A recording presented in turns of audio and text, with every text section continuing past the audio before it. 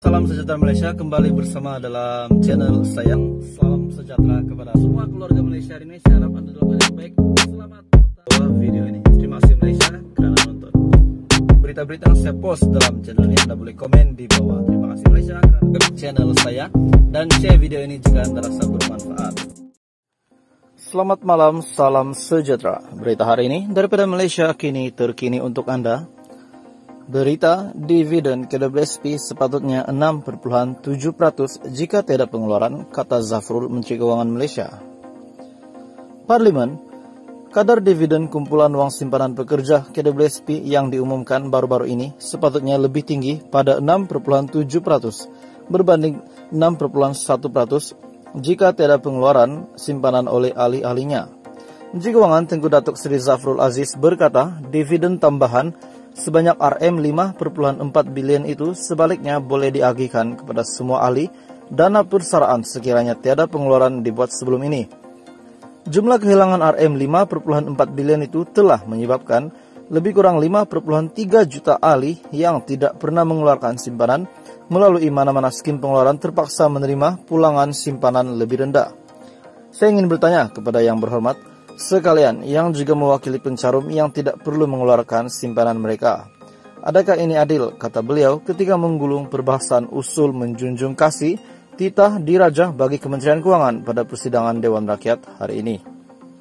Secara keseluruhannya, ahli KWSP mempunyai akses bagi sehingga RM71.000 dalam dana persaraan itu melalui tiga program pengeluaran khas yaitu iLestari, iSinar, dan iCitra yang telah memberi manfaat kepada lebih 7,3 juta ahli ataupun 58% daripada 12,7 juta ahli dengan pengeluaran berjumlah RM101 bilion.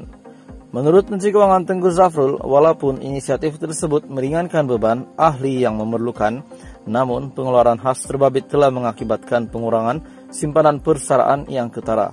Beliau juga berkata susulan pengeluaran sebanyak RM101 bilion tersebut seramai 6,1 juta ahli atau 48% yang di bawah 55 tahun hanya mempunyai baki simpanan kurang daripada RM10.000.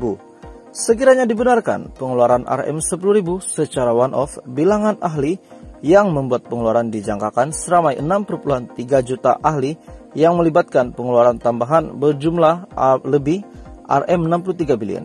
Jika pengeluaran tambahan ini dibenarkan, KWSP perlu melaksanakan imbangan portfolio dengan impaknya yang mungkin lebih daripada nilai pengeluaran berjumlah RM63 bilion.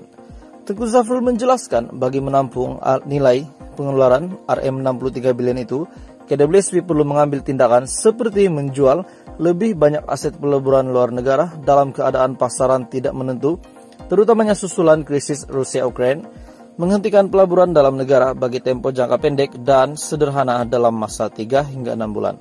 Malah, tegas beliau, langkah itu akan terus memberi impak negatif ke atas pasaran saham dan bond tempatan, termasuk kadar faedah security kerajaan Malaysia, MGS, yang meningkat dalam kadar purata 100 mata asas berbanding suku ketiga 2020 serta menyebabkan kos pinjaman bagi kerajaan di masa hadapan meningkat secara ketara.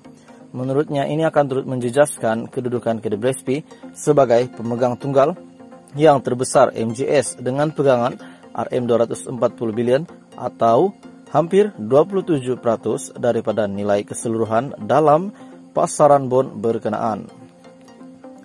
Dividen KWSP sepatutnya 6,7% jika tidak pengeluaran, kata Menteri Keuangan Tengku Zafrul. Berita dipetik daripada Malaysia kini, Bahasa Malaysia.